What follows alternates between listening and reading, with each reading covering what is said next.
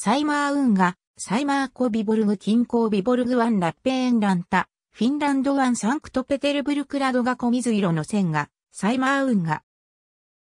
ビボルグ付近は自然の水路を含む。サイマー運河は、フィンランドのサイマー湖と、フィンランド湾沿いのビボルグを結ぶ運河である。1845年から建設が始まり、1856年9月7日に開通した。1963年から1968年には、拡幅工事が行われた。フィンランド南欧部から南東部にかけての一帯では、120以上の湖が運河や水路で結ばれている。サイマー湖の水深の深い水路の総延長は 814km あり、中部フィンランドのクオピオ2まで達している。運河はフィンランドラッペンランタ近郊からロシアビボルグ近郊まで通じていて、サイマー湖とビボルグ湾が結ばれている。その途中のフィンランドロシア国境には、ヌイヤマー湖があり、ロシア内には小さな湖が3つある。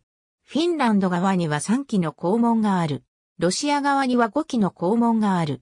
高低差は、マルキア肛門が最大で12.4メートル、ケーターッチの肛門が最小で5.5メートルである。運河と交差する橋は次の通り。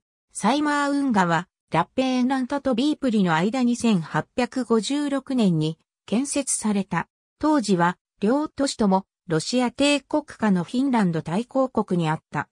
1940年のモスクワ講和条約で、カレリア地境とビボルグがソビエト連邦に割譲されたため、運河は分断され通行できなくなった。ロシア側の運河地帯とマリー・ビソツキー島をフィンランドが50年間阻借する条約が1963年に結ばれた。フィンランドにより運河の拡幅工事が行われ、1968年から運行が開始された。全長は 42.9km である。2013年以降の咀嚼については、2008年に年間の咀嚼量を29万ユーロから122万ユーロに引き上げることを条件に、さらに50年間継続することで合意した。ありがとうございます。